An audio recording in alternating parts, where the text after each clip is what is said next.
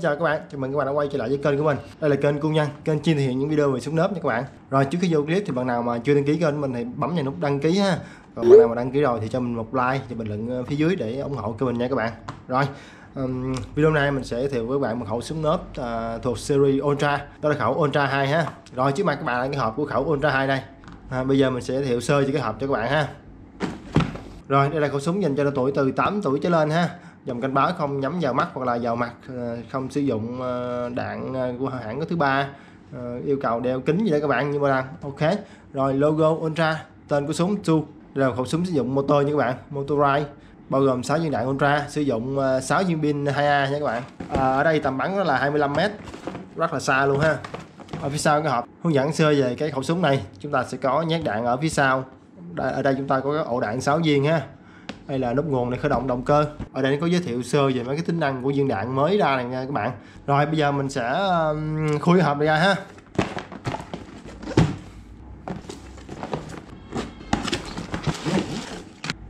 Rồi trong cái hộp đó chúng ta sẽ có những bộ phận sau đây. À, một tấm bản hướng dẫn hai tấm bản hướng dẫn các bạn. Tiếng anh và tiếng trung ha nhưng mà lần. À, một phần thân súng ultra 2 và 6 viên đạn ultra à, rồi bây giờ mình sẽ à, giới thiệu sơ sơ về cái khẩu súng này ha. À, nhìn sơ ra về bề ngoài thì đây là khẩu súng à, lục với ổ đạn à, xoay có sức chứa 6 viên đạn nha. À, nhìn khá giống với khẩu súng lục huyền thoại Anaconda mà dân Việt Nam mình hay gọi là rulo các bạn. À, cơ chế hoạt động đó là các bạn sẽ giữ nút nguồn này sau đó bóp cò ha. Rồi khi bóp cò thì ổ đạn sẽ xoay theo chiều ngược kim đồng hồ ha y như súng rulo thật ở ngoài đời luôn ok bây giờ mình sẽ vô phần đánh giá chi tiết về khẩu súng Ultra 2 này nha các bạn. Đầu tiên là phần nòng súng ha nòng súng thì à, khá đẹp và không có khớp để gắn phụ kiện nha. Mà chắc à, giống như ngoài đời thôi khẩu rulo thật thì cũng không có nòng xe lanh nữa ha. Ờ, đó là khẩu súng biểu tượng cho sự mạnh mẽ và cổ điển ha. Mấy anh chàng cao bòi à, ngày xưa thường sử dụng khẩu rulo nha các bạn. Rồi phía trên phía trên là cái điểm ngắm của súng ha một ở đầu này và một ở phần cuối này. À, cả hai tạo nên cái đường ngắm cho súng. Đây chúng ta thấy đường ngắm của súng ha các bạn khi mà ngắm là ngắm như vậy nè ha. Ok. Ở giữa đường ngắm là một thanh rai dùng để gắn phụ kiện. Ở đây chúng ta có hai thanh rai một ở phía trên này à, và một ở phía dưới này. Với hai thanh rai này thì mình hình dung ngay lập tức đến à, red dot ở phía trên và laser hoặc là đèn pin à, phía dưới ha. À, mấy món phụ kiện thường thấy một khẩu súng các bạn. Rồi tiếp theo. Tiếp theo là ổ đạn 6 dòng xoay tròn nguyên thoại của khẩu rulo điểm ăn tiền của một khẩu rulo nha các bạn. Đó là cái ổ đạn tròn ha tiếc là cái ổ đạn của khẩu Ultra 2 này thì nó không có bật ra bên hông để lót đạn ha. Hết đạn thì chúng ta chỉ nhét đạn thẳng vào ổ luôn nhét từ phía sau như vậy nè ha các bạn. À, không ngầu như những anh chàng cao bồi nhưng mà được cái là nạp đạn rất là nhanh ha. Đó chỉ việc nhét cho thôi. Khá là nhanh. Ổ đạn này xây cũng nhẹ đó nha các bạn không có gì khó khăn đó. Nạp đạn cực nhanh luôn. Rồi kế tiếp ở bên hông thì chúng ta thấy một cái ờ, nắp nhỏ ha. Đây. Để mình mở cho các bạn xem nha rồi mở ra thì tôi thấy được cái bánh đại của khẩu súng luôn. Đây là chỗ tháo đang kẹt của khẩu súng ra nha. À, tháo ra xong thì các bạn nhớ đóng nắp lại nha. Nếu không thì động cơ sẽ không hoạt động đâu. À, phía trên chỗ này là cái khai à, chứa pin của khẩu súng ha. À, dạng ốc ở đây. Mở nắp ra thì à, chúng ta sẽ gắn pin vô.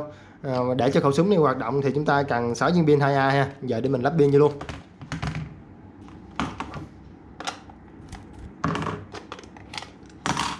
Đây các bạn à, khai phía trên chúng ta sẽ lắp 4 viên pin còn khai phía dưới chúng ta sẽ lắp hai viên pin ha.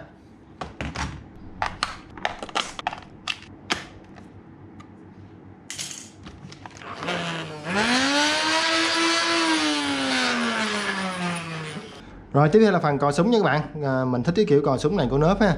Không như khẩu Ultra 5 trong clip vừa rồi mình giới thiệu cho các bạn á Cái cò súng nó có một chút xíu à. Ờ, bắn một hồi là nó đau cái đầu ngón trỏ ha. Là còi súng đạn như vậy là hợp lý nè. Rồi xong rồi ha đó toàn bộ đánh giá của mình về khẩu Ultra 2 này nha. À, à quên ở đây thì chúng ta còn có ờ, thêm hai cái khe dùng để treo súng nha các bạn. Như vậy là hết rồi. Quá đơn giản với một khẩu súng Ultra 2 này. À, bây giờ mình sẽ bắn thử khẩu này nha các bạn.